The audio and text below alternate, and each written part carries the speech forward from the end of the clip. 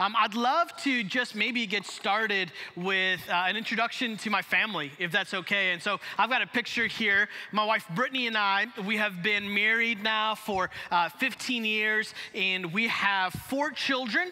Uh, three, but I don't know if y'all knew this, but um, your kids over the years keep growing. Did you know that? Keep getting, yeah, okay. So uh, I used to say little boys, but now look at them, they're so big. So we've got Liam, Levi, and Lucas, uh, 13, 12, and 10. And then y'all, four years ago on Valentine's Day, we welcomed our baby girl, uh, Amelia Jane, right there on that first step. I've nicknamed her MJ after the greatest basketball player of all time. So if you know, you know. Uh, Britt and I, we have kind of lived all over the place. We um, met in California. Uh, we ended up going to uh, the Pacific Northwest, um, did a stint back in Chicago from where I'm from. Uh, and so we've been able to kind of experience different cities. And um, I don't know if you know this, but cities actually matter right? Like, like cities matter. And, uh, and so here we are in the book of Revelation, and we're in Revelation chapter 2, um, and it says, uh, at the heading of my Bible, it says, the letter to Ephesus. Now I know all of you are like, yes, Ephesus. No, no one? Okay, cool. That's, this is going to be much tougher than I thought. No, I'm just kidding. Um, let me just start with this, right? Like, like there's some things that have just missed us. And it's not a horrible thing, it's just the reality of the distance that we are to ancient text. And so today we are talking about this letter, the words of Jesus to this church that is in the city of Ephesus. And, and I just want us to uh, remember that the people at that time, when they hear Ephesus, there are mental triggers that are taking off, similar to what it would be like for us to say, Have y'all thought about LA? I know, right? It's like that's where movie stars are. Like maybe we could do a selfie with Chris Pratt walking down the street, like LA. Or, how about this one? Um, some of you might be like, oh, New York. Oh, yes, New York is a bucket list location. Like, think about going to the theater in New York or sitting and having um, New York thin crust pizza, like New York, right? Uh, major cities, they have an impact. Um, like, I don't know, some people say Dallas is a major city. Is that true? I don't know. No, I, I'm kidding. What is Dallas known for?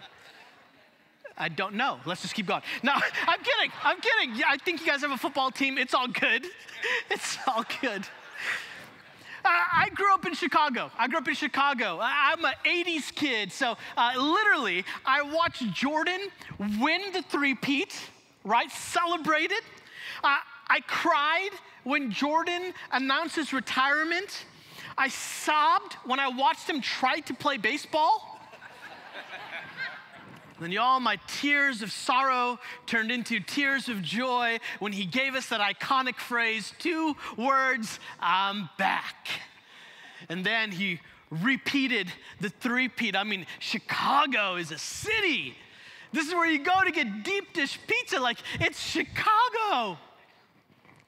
Now, um, when we start in Revelation chapter 2, and we get to the city, Ephesus, I, I want to do a little bit of work so we can get that same sense of identification and location that the original hearers would have had. So, so, what's so important about the city of Ephesus? The city of Ephesus, the Emperor Augustus actually named it the capital city of Asia when he came into power. So this led to a meteoric rise of power and influence in terms of political and geographical and even spiritual significance. The city of Ephesus was the third largest city in the Roman Empire. About 250,000 people lived here during the time of the early first century church. The city of Ephesus was ethnically diverse. You had Lydians and Ionians and Antiochians and Jews that, that all came in and were influencing this city. It had its problems, it had its challenges. Um, it was dealing with this issue of dredging. Basically, the soil was coming in, trying to take away the harbor. Well, this actually created an opportunity for impressive engineering that basically kept the sea at bay for a season. That's pretty amazing. It was also home to one of the theaters built on the side of Mount Pion that held about 25,000 people. Like, this is epic. But maybe the most significant thing about the city of Ephesus is the Temple of Artemis. You see, the Temple of Artemis was one of the seven wonders of the world it's also referred to as the Artemision. It was four times larger than the Parthenon and the Athenian Acropolis. And the signature of the Temple of Artemis was these 127 pillars. This was significant. Here's the bottom line about the city of Ephesus it was a place full of distraction. You could go into the city of Ephesus and you could be lost. What did you want to occupy your time with. You could find almost anything in the city of Ephesus. And, and this is the context by which we jump into Revelation 2 1. And Jesus begins to have a dialogue with these seven churches in seven distinct locations, yet with an applicable message and takeaway to this church, Bent Tree Bible, 2,000 years later. Before we get into the actual words of Revelation 2, I want to just make an observation that when Jesus writes, he's writing to the churches here. It is intense, plural. why is this so important? The message that Jesus has for us is deeply personal. But listen, it's not purely individualistic. Pastor Libin talked about this last week and, uh, and quoted Eugene Peterson brilliantly that, that the gospel takes me and turns it into we. And, and when we're reading this, we, we ought to remember that these words of Jesus are going to be deeply, they're going to impact us personally. But we have to be cautious that we don't read them individualistically. What do I mean by that? Uh, what I mean by that is refrain from what I refer to as the unholy trinity of me, myself, and I. That's how the world is trying to tell us that, that we ought to just live, live with just me, myself, and I. And, and the slogan of this world is like the TikTok slogan of, hey, y'all, you just do you, boo, right? This is antithetical to the gospel. It's deeply personal, but far from being individualistic. So, um, how does Jesus speak? Like, what is it that, that he says to these churches? I want to start with the structure of the letter to the church in Ephesus. And this is going to actually become important because this is the structure for all seven churches as you work through this. And the structure goes something like this Jesus starts with a commendation.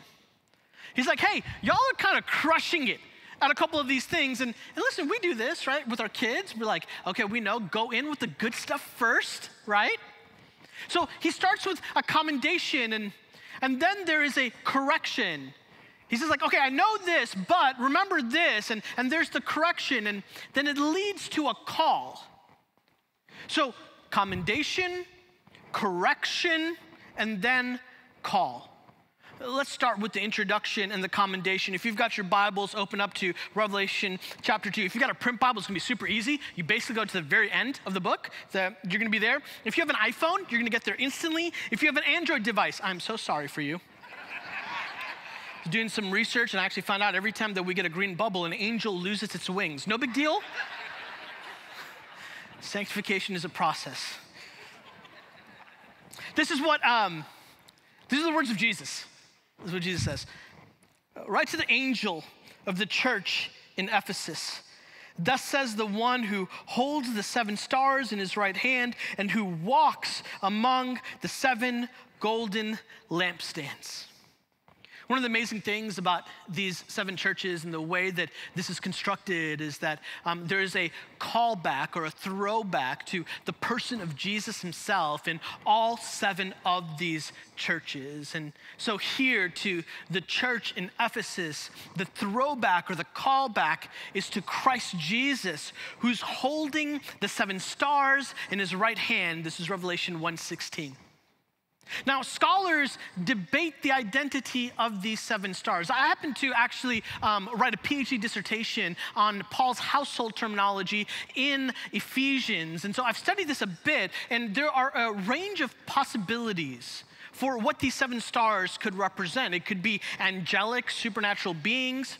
Some think it's pastors, some think it's bishops, some think it might be some special messengers. My personal view is that it probably refers to supernatural beings. This kind of feels consistent with the rest of Revelation and even the language of the Old Testament, talking about the heavenly host and the stars of heaven. But here's the deal I don't want us to get bogged down by this interpretive decision because while this is an important aspect of the detail, there's something that's actually even more important. Well, what's more important? Here's the deal it actually doesn't even matter if it's angels or pastors or bishops or special messengers. Why? Because of the one who holds them in his right hand. Well, what matters is that Jesus, the king of the cosmos, is the one who's in power and authority and control. He is the one who holds them in his right hand. The language of the Bible, all the way from Genesis to Revelation, the, the idea of the right hand of God is a theme that talks about his power and his might and his authority. And here's Jesus holding the stars in his right hand. And I love this detail. Not only is Jesus in charge, but Jesus is walking among his churches. That's what the lampstands represent. I don't know about you, but there's an echo that begins to reverberate through my mind and my heart as I think about, well, where in the Bible do we see walking? Well, you can't get past the first three chapters of Genesis until you get to Genesis 3 and you go, oh my goodness, it was routine for Yahweh to walk in the Garden of Eden with Adam and Eve. The idea of walking, it flows so well with the story of Scripture. Simply summarized as God with us. And this is exemplified in the incarnation, God Himself with His people. Jesus, like, Jesus, He hears, He sees, He feels, He's aware. I just wonder what would change in our lives today if we lived with this reality in our minds. Like, like how would it impact us when we're stuck in traffic? How would this work when we're in a line that is far too long at a Chipotle? I'm not saying this happened to me the other day or not, but I'm just saying. Like, what will we do? How do we talk? How do we feel? How do we respond if we were aware that Jesus Himself is not some distant, faraway deity. No, no, no. Jesus is the Son of God, God Himself, who is walking amongst His people. So He sees you, and He hears you, and He feels your joy, and He can empathize with your sorrow. Jesus is with us. Now, what does this mean? There's not a moment in human history where Jesus is caught off guard. I don't know if anybody needed this gospel hope this morning. I know I do. When a flood floods the mountains of the Carolinas where I'm from and nobody saw it coming, that catches me off guard. Jesus is not caught off guard. When wars take place and there's death and there's destruction and we're caught off guard, like, how can this? Listen, Jesus is not caught off guard in every moment that you and I might be caught off guard, we can rest in this hope that Jesus is never caught off guard. So, what is it that Jesus sees in this church at Ephesus? Let's keep reading Revelation 2 2 through 3. This is what Jesus says He says, I know your works, your labor and your endurance, and that you cannot tolerate evil people. You have tested those who call themselves apostles and are not, and you have found them to be liars. I know that you have persevered and you've endured hardships for the sake of my name, and you have not grown weary.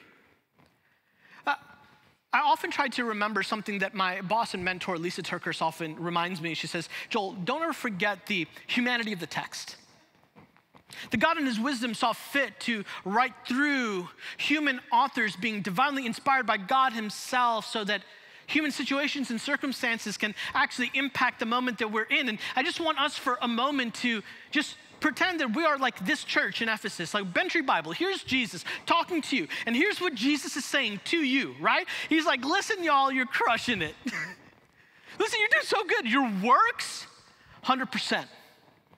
Your labor, 100%. And even better, you are enduring. And Bent Tree, I'm so proud of you because you don't tolerate evil. You know, you're actually testing what people are presenting as truth and identifying is this actually truth or is it not? And, and you're exposing, like, I am so proud of you. I don't know about you, but this is kind of how I would feel. If I'm sitting here listening to Jesus, I'm probably thinking this, like, hmm, got a grin on my face. Yeah, I'm doing a good job. And at some point, as he's going on and on, like, like, like you endure with patience for my name's sake without growing you start to put your shoulders up just a little bit. You're like, yeah. And then you might, I don't know, this is just me, so my bad, but I'll look around and be like, are y'all paying attention to what Jesus is saying about us? Like, we're doing good here. It almost feels like being on a roller coaster. You know, and like, and the exhilaration of getting to the very top of the roller coaster. It's like, this is gonna be amazing. And you know that the fall is coming, but you're still like, this is so hype right now. And then all of a sudden you drop and your stomach goes up into your throat. And that's what happens to them. You see, um, Jesus then comes with a devastating correction. Revelation 2 4. But I have this against you. And I paused because I almost wonder if that's how the people in Ephesus were feeling. Like, what? Like, Jesus, how could you have anything against me? Like, you just talked about how we're doing all the good works and we're enduring and there's patience and there's perseverance and, like, what? This is what Jesus says I have this against you. You have abandoned the love you had at first. I don't know about you, but I just start to think uh, can we do a replay on the tape really quick? How, Jesus, like, what? Like, how could we have abandoned our first love when you literally just said to us, you're doing all of these things that seem to validate that we do love you? Um, some years ago, my sons uh, came to me and said, Dad, um, we really want to go fishing. I looked at them and I said, Boys, I'm Indian, we don't fish. so um, I did what any good dad would do at this moment. I went to YouTube to try to figure out how to fish. And I realized something I really don't know how to fish. And so uh, I did the next best thing. My sister lived in Destin, Florida at the time. She was in the Air Force and uh, at the Air Force base there. And she said, Hey, the fishing here is amazing. And, and I know a um, charter captain who can take you and the boys out. And so I was like, Swipe my credit card. Let's do that. Better idea, right? And so I took my boys out to Destin to go fishing, and, and it was awesome. Like, the boys are catching fish, like, they're just crushing it. They get it from their mom's side, not me, but you know what I'm saying. Great. But there's an interesting detail that the captain kept doing. You see, we stopped and he dropped the anchor. When he dropped the anchor, he would just stop and just let us fish. And then every now and then, about every 15 minutes or so, or 10 minutes, he would go back to the, um, the device that lets us know where we are and where the anchor had dropped. And he would assess it. And then he would do this wild thing. He would pick the anchor back up. And then he would turn the engine on and move us and then drop the anchor back. Like for an hour, he would do this. And then finally, I just got confused and I looked and I was like, hey, excuse me, sir, like, why are you doing, do, like, isn't the purpose of the anchor to, you know, keep us in the same spot? And he looked at me, and I'm sure in his brain he thought, you're such an amateur. He said, no, sir, um, actually, um, you see, the, the depths of the ocean are sand. And there are currents underneath, and so the purpose of the anchor is actually not to keep us in the exact same spot. The purpose of the anchor is to keep us in a general location so we can assess where we are and where a drift has taken us. So, what the goal is actually is to go back and to look and to identify this is on the map where we're supposed to be. The anchor has kept us in a general location, but we have drifted, and so now we have to go back and pull the anchor back up to set ourselves back in the right spot and then drop the anchor back again. The fascinating thing about this is you could do this entire thing and never check the location of the anchor. But you're fishing, you might even be catching fish. But all of a sudden, you find yourself lost. But you've, you have drifted from the place where you're supposed to be the entire time. So, the church in Ephesus is given this warning by Jesus. And this is a word of warning for us. Just because we start in the power of the Spirit doesn't give us any guarantee that we will not end in the vicious vice grip of the flesh.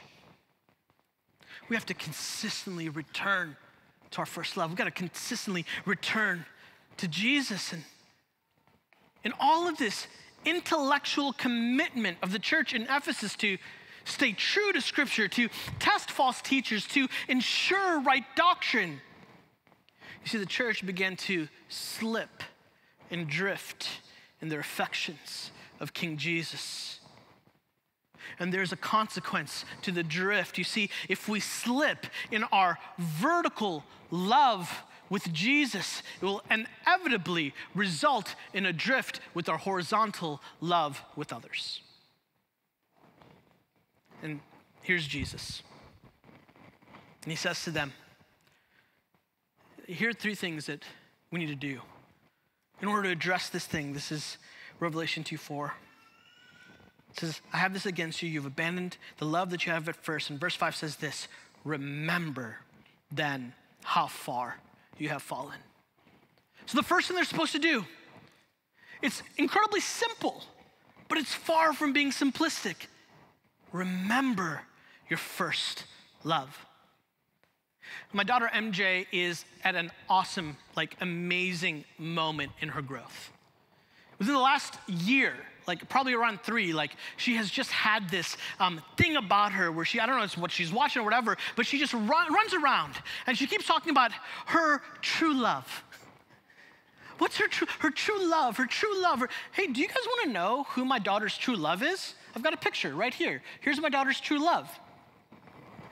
Her daddy. Isn't that amazing? So, so this is my four-year-old daughter. She's just she's obsessed with this idea of the her true love, and, and this is how it works out. It works out as a competition between my wife and my daughter. It's awesome. So this is what happens. I, I work out of my home study uh, on Tuesdays and Thursdays. So on Tuesdays and Thursdays, right at two o'clock, um, I always know I'm, I'm, like deep in work. Right, I'm in Revelation too. Like, what is happening? What are these stars and the lampstands and the who are the Nicolaitans? I'm dealing with all this stuff. And right at two o'clock, I'll hear a bang. I actually, first I hear the sound of two distinct footprints, um, one little and one big. It's my wife and my daughter, and they're racing to, to come see me. And my daughter always wins, and she gets to the door first and she starts banging on the door and she goes, True love, I'm home. I just swipe all my books. I, True love, daddy's here. and I get up and I open that door, and she doesn't even ask for permission. She just rolls right. And y'all, she sits in my chair, just comes and sits in, and she just, Hey, true love, this is what I, and she just tells me about her day. So I did with my friends, and this is what happened on the playground. And and can we go on a daddy daughter date? And daddy, when am I old enough to start traveling with you? Like, like, and we just, we just, daddy, you're my true love. I have a question for you. When was that moment that your heart went from death to life? The Luke 24 moment where these two are on the road to Emmaus and, and they marvel. And the text says that their hearts beated alive. The first moment you came into an interaction with Jesus, the Son of God, who willingly gave himself up for you that you might be invited into the family of God. What was that emotion? What was that feeling? What was the thought process that was going through your head, and what did you do as a response of that? The technical terms for this is orthodoxy, orthopathy, and orthopraxy. It's about our head knowledge and our heart affection and our work that we do as a result of that, what was that like? You see, I know that um, at some point in time, there will be some knucklehead boy that comes into my daughter's life. And at that point, I'll look at my daughter because I've kept all the receipts and I'll say, Baby girl, you better remember who your first love was. Um, here's Jesus. And he looks to this church and says, Remember your first love. It's not beyond me to know that in a room this size and online viewers watching, that there's some that might be skeptics. There's some that are wondering, could it be true?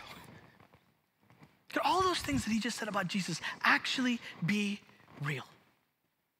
I just want you to hang in with us because the answer to that is so simple.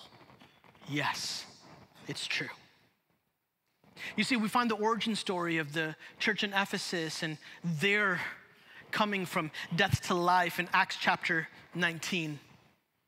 The story of Jesus had penetrated and had gone into the city of Ephesus, and it has caused an upheaval. In Acts chapter 19, starting in verse 18, this is the, the moment. This was like their first love. This is what true love looked like in Ephesus. It says this in verse 18. And many who had become believers came confessing and disclosing their practices. What practices were these? You see, the city of Ephesus was rooted in magic and mysticism.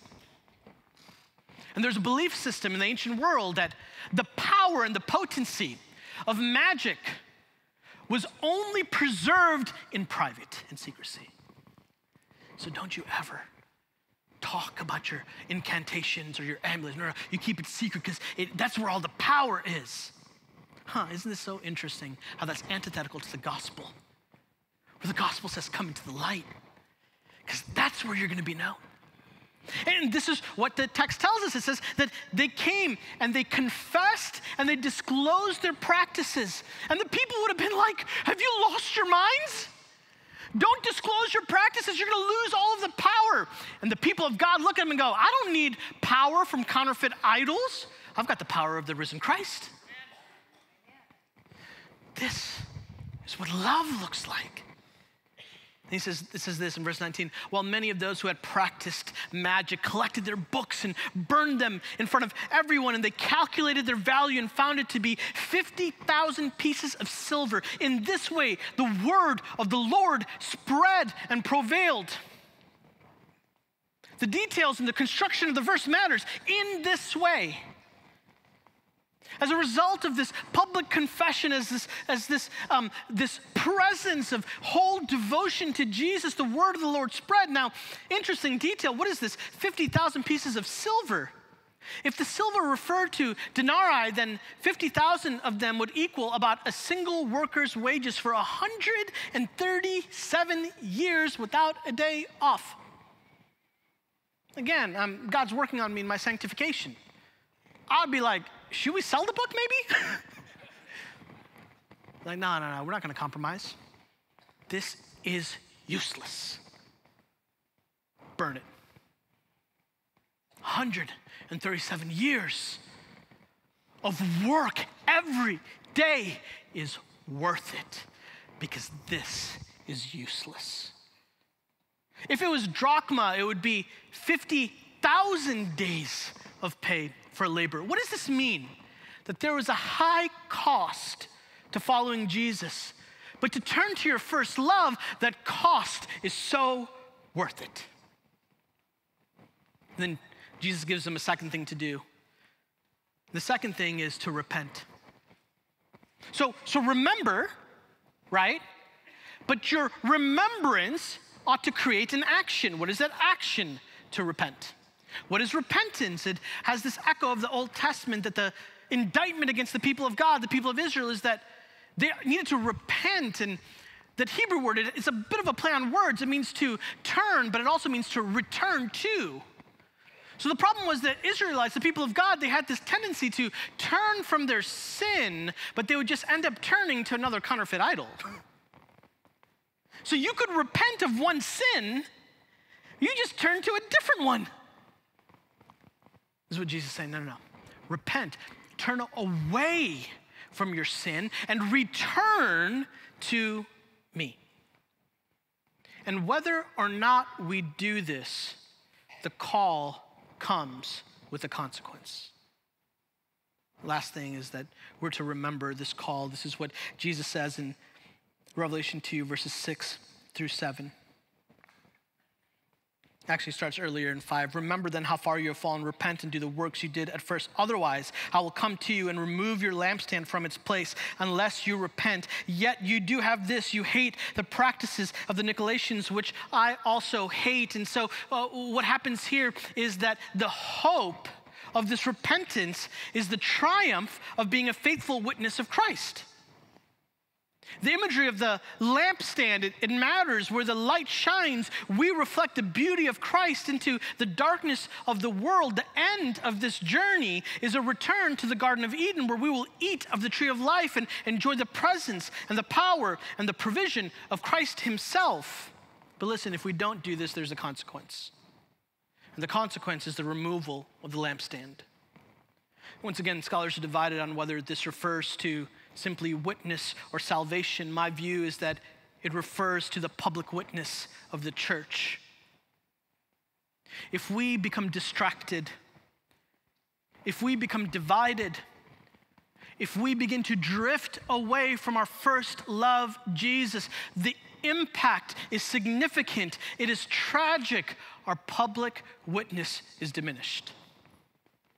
Can you imagine if you're in a room, in a situation, and here you are in a survival deal, and it's like, okay, you got to keep this fire going because that is the difference between life and death. it's like, you got to stay up. You got to keep this fire, and you're like, okay, I'm to do it. Why? Because you know, like, I will do whatever it takes because this is life. And the tragedy of you're like, ah, oh, no, it's okay, I'm gonna take a nap and let it die. And now you're stuck in darkness. This is what Jesus is saying to this church is like, listen, there is a cost to the call. Return to your first love. Be rooted in your first love. And then he talks about these Nicolaitans because the opposite of love is actually hatred if we say we love Jesus with all of our hearts and all of our minds and all of our souls, then the implication is we will then despise the things that Jesus despises. If we love Christ, we will love the things that Jesus loves, and we will turn away from and reject the things that Jesus rejects. This is what he says. He says, Yet you do have this. You hate the practices of the Nicolaitans, which I also hate. Um, one of the challenges that we have in today's society is this issue of love. What do we actually mean by love anymore? how, how is love portrayed? Here's how I believe the world is portraying love to us. The world in our culture portrays love as 100% affirmation, 100% acceptance, 100% turning a blind eye. It's not about challenge or questioning anything, but this is not biblical love. Love without conviction will lead to compromise. Love without boundaries will lead to abuse. Love without challenge leads to complacency. Love without discipline is simply hatred. But notice what the text says and what it doesn't say. Jesus applauds the hatred of the practices of the Nicolaitans, not the hatred of the people. This is a distinction with a difference that matters. And I think the reason why Jesus does this is a way to prompt their remembrance and to prompt our remembrance today. Today, 2,000 years later, the church is alive and well. You might be like, Joel, prove it. No problem. Look around you. And we look back to the condition of this ancient church in Ephesus, and we're left wondering, like, what actually took place here? Remember, everything taking place in Ephesus was primed to be a distraction to the people of God. To deceive them through distraction to abandon their first love. And this vertical abandoning would inevitably result in horizontal impact. People who are within the household of God and find their unity in Christ, when distracted and drifted, will be divided. You see, you and I, we live in a world of distraction. It can be easy to be like, oh, Ephesus, that's so tough for them. Sometimes I just wonder, how would the people in Ephesus be thinking about our world today? I think they'd be like, whoa, woe is you. That's real rough what you're living. Like, like these are the types of distractions that we have. We think that the security we think that we will find can be found in a vocation. But what happens when that vocation is gone? We think the love we believe will be unshakable and fulfilling will be a relationship, but what happens when the relationship is broken? We may even think that the dopamine hit of exhilaration, of a hidden addiction, will be satisfying. What if that thing just leads us to a pit of despair? Because it will. Bent Tree, I think what Jesus is asking of the church in Ephesus is the same thing that he's asking of the church here today. I'll phrase it this way Is there any hope and longevity in the things that distract us? Let's go back to the city of Ephesus. Maybe the most significant distraction that would cause God's people to abandon their first love was the temple of Artemis. I mean, we talked about it earlier. I just want to run down memory lane for a, a bit of remembrance. Like, what was it like back then, and maybe what is it like today? You see, in Acts chapter 19, verse 27, we get this origin story. There was this silversmith named Demetrius, and, and Demetrius was stressed out.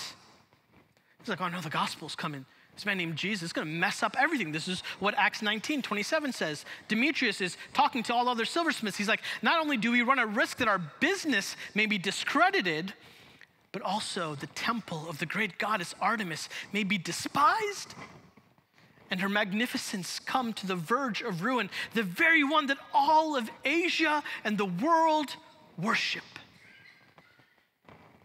This temple of Artemis was the premier opportunity for distraction and drifting for the people of God. Now remember the grandeur of the Temple of Artemis. I've got a picture of this that it boasted 127 pillars. Have you ever wondered, man, what happened to this amazing place? Referred to as one of the seven wonders of the world. Here's a brief history. The first version of this temple ended up burning down in 356 BC. And the rationalization for this story is that, oh, you know, the, the, the goddess Artemis, she had to leave her home abandoned because she actually had to go to Macedonia to help deliver Alexander the Great. Hmm, that's interesting. And then the Goths, they actually destroyed the temple in 263 BC and what was left in remains was used for a few more search, uh, centuries. And then later in antiquity, builders came in and they pillaged the ruins for material for other building projects. Eight of those pillars are iconic pillars that are still used today in the Hagia Sophia in Istanbul. Here's the problem the temple was built on marshy ground. And over time, it just continued to sink and crumble as stone by stone was pillaged. Today, of the 127 pillars, only one remains where this great temple once stood, where the house of the goddess of Artemis stood, is one pillar and now the home of this one pillar is a nest to a family of storks that live on top of it. And still, 2,000 years later, the church of God, the people of God, are alive and well. And a crucial element to this endurance, to this sustaining power, is always returning to our first love repenting of our sin and living out the love that we have for King Jesus. This is a theology of remembrance. How can we live this out practically? I just want to give you three things that we can practically do as a theology of remembrance. The first thing is we recall who we were before Christ. We go back to that moment and go, oh my gosh, this is who I was before Jesus. This is who I could have become without Jesus.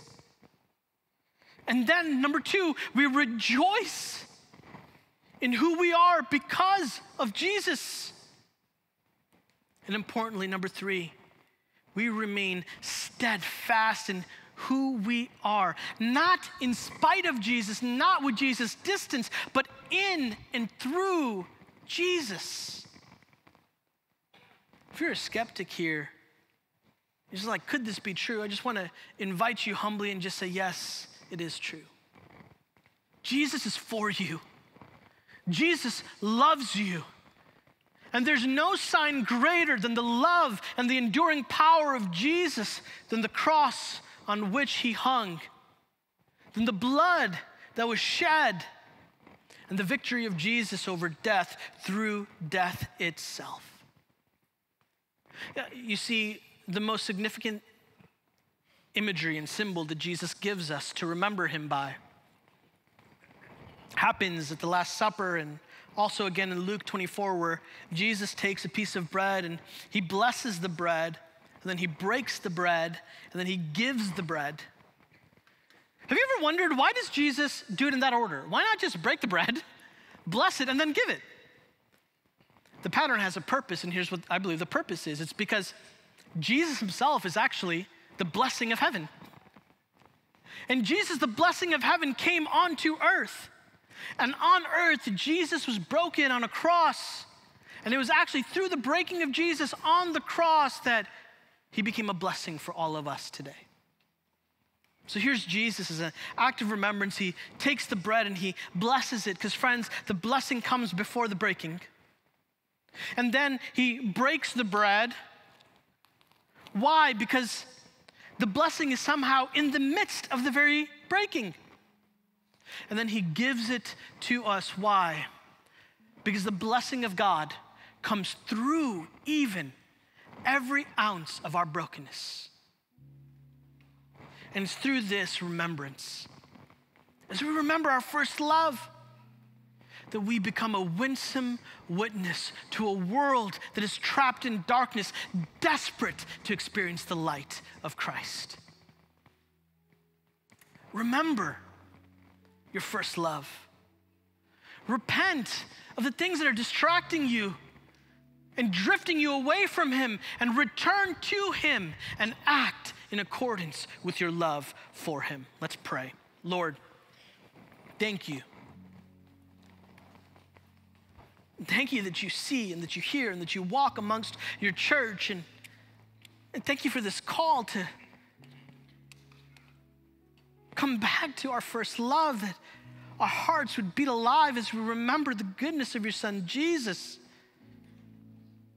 God, with our hearts and with our minds and with our lips, that we'd proclaim the gracious work of God in our lives. And Lord, we pray that you would give us eyes to see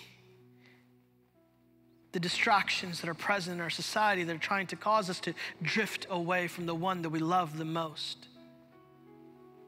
Lord Jesus, may it be true that of Bent Tree Bible, of this church, of this community, that there is a consuming love for Jesus that orients all of their life. Amen.